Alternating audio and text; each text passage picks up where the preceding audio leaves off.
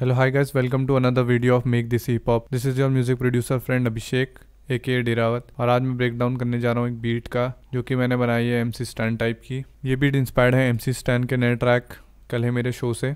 तो आइए इसको डिकन्स्ट्रक्ट करते हैं। लेट्स गो तो गाइस सबसे पहले ले करी थी मैंने कुछ कॉर्ड्स बेसिक कॉर्ड प्रोग्रेशन आइए इसको सुनते हैं।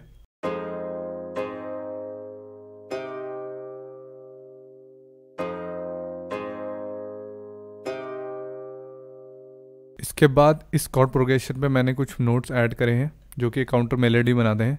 आइए अब इसको सुनते हैं।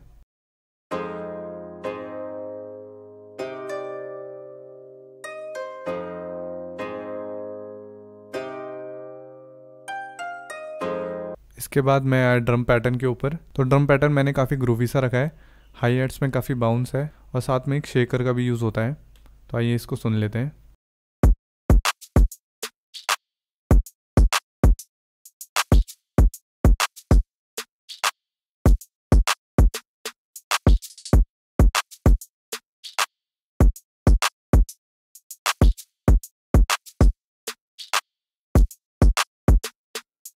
तो गाइज़ ये है इसका कुछ हाई हार्ट पैटर्न एक बार आपको सोलो करके प्ले करता हूँ।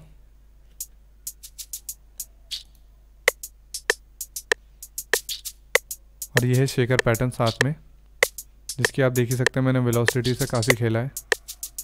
के बाद मैंने ऐड किया ये एट टू एट पैटर्न इसको भी सुन लेते हैं।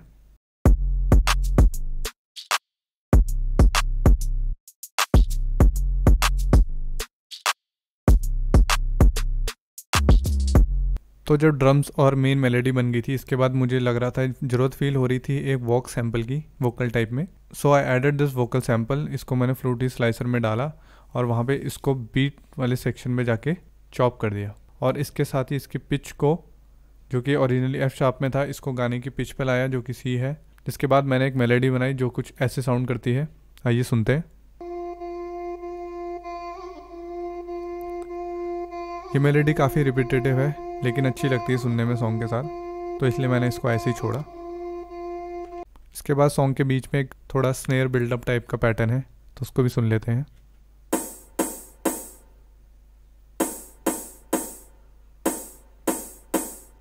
तो ये बना है कॉन्गो से, जिसको मैंने काफ़ी मॉड्यूलेट किया है, और साथ ही में एक ओपन हाई हेड लास्ट में मैंने ड्रम से मिलाया कुछ सिम्बल्स और एक वॉक्स हेयर टाइप का। So this is it guys ये थी फाइनल बीट काफ़ी सिंपल बीट है। जैसे आपने ओरिजिनल सॉन्ग भी सुना होगा, कल है मेरा शो एक ही मेलेडी चलती है सॉन्ग में, साथ ही में इंस्ट्रूमेंट भी सिंगल ही है। वही सिंपल आइडिया रखना चाह रहा था मैं इस बीट में। तो आइए इसको पूरा सुनते हैं। पसंद आए तो लाइक एंड सब्सक्राइब कर देना और अपने प्रोड्यूसर फ्रेंड्स के साथ शेयर कर देना। Let's go